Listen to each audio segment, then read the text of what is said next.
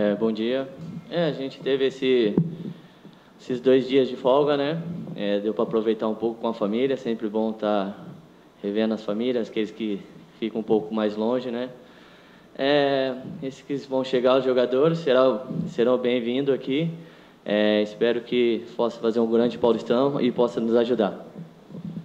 Diego, eu queria que você falasse um pouquinho dessa sua função agora mais à frente ali. Inclusive, você fez um belo gol contra a equipe do Uberaba no último jogo treino, na vitória por 3 a 0.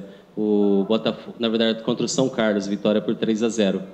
Você já tinha participado também no primeiro jogo contra a equipe do Uberaba, vitória por 1 a 0. Eu queria que você falasse um pouquinho sobre essa função agora que você já atuava, mas agora definitivamente vai ficar nessa situação.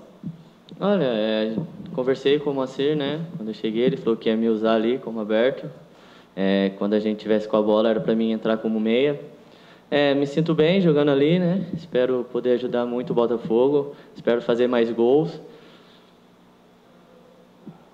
Pituca, é, em relação ao que foi falado aqui da sua, sua, nova, sua nova posição dentro de campo, queria que você falasse como está sendo a adaptação dos outros jogadores em relação ao estilo de jogo do Moacir, que é um pouco diferente do, do treinador antecessor, que é o Márcio Fernandes.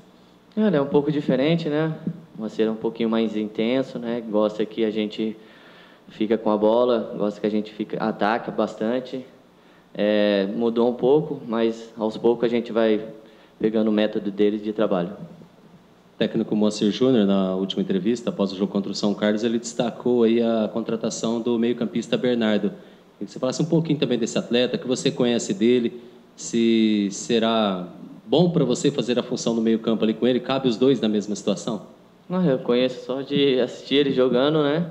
É, é um, bom, um grande jogador, vai nos ajudar bastante nesse Paulista aí.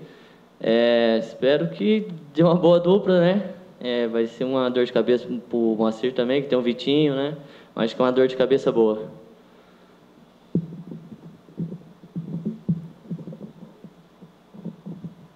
Você citou aí o Vitinho, o Diego. E cabe aí Diego Pituca, Vitinho e Bernardo no time? Olha, acho que isso aí fica do, do Moacir, né? É, acho que é jogadores de qualidade, né? Acho que sim. Vamos ver né, o que o Moacir tem em mente, mas espero que a gente possa estar jogando junto.